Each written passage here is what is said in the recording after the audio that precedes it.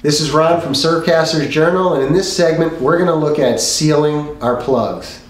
Sealing has long been one of the biggest mysteries in plug building, and there are literally hundreds of different ways that people prefer to do it. I'm going to show you the way I like to do it. I like to use spar urethane. It's readily available. I get mine at Home Depot. Um, it's relatively inexpensive and it's easy to work with. There are a lot of other uh, substances out there that people seal with, uh, most notably um, boiled linseed oil that you need to be very careful with.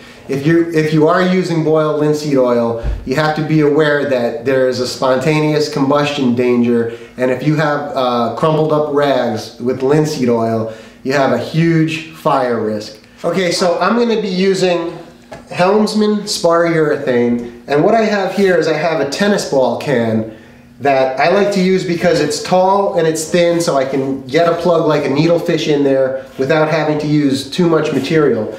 But because the tennis ball can is um, a little bit unstable, I like to drop this into another can, makes it a little bit uh, more stable in case I go to tip it over. Um, what I'm going to do is I'm going to cut this with mineral spirits. I don't have a set formula. I kind of like to go by feel. Um, I would say most I do is maybe 25%. So I'm going to pour in some mineral spirits.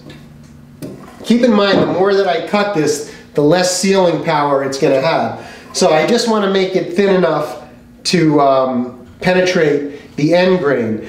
All wood is going to absorb, it's going to want to absorb moisture through its end grain way before it does through the side grain. So the critical areas are going to be your through holes, your, your hook holes, your lip slot, and the front and the back of the plug.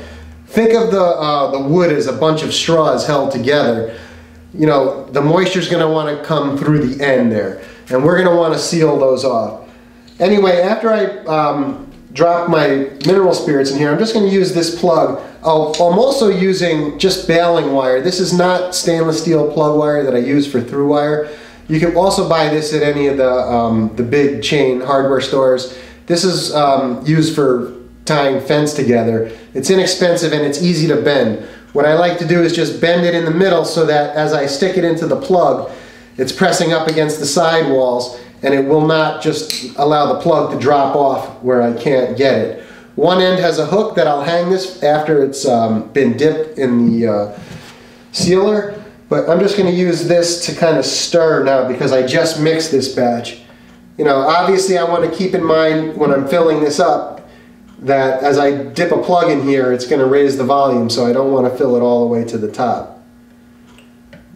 But this is a pretty good texture. I like to just dip the plug and hold it. Another thing that I found is that I've done experiments with how much time the plug sits in the sealer, and I did not notice hardly any difference between a few seconds till all the bubbles stop and literally for an hour. So I don't want to waste my time. I'm basically just going to let this sit in the sealer until I stop seeing the bubbles come through where the through hole is. Again, the most important uh, area for me is to make sure that that through hole and the hook holes are completely saturated.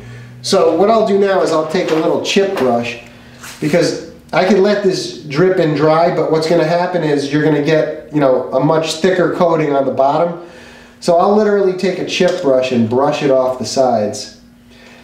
To be honest, if it were up to me, I wouldn't even seal the outside of the plug. If I could just get the inside where the uh, through hole and the hook holes were, I would be fine with that because your paint and your clear coat is going to seal the exterior side of the plug. I want this to dry as quickly as possible so by having this thinned out and not having it drip for too long, that's going to uh, put me in business faster. And now I'll just hang this right here for now for demonstration purposes. When I'm doing this I have, uh, I do this over by my, um, my dust collector and I have it circulating the air and I have a big rack that does all the plugs.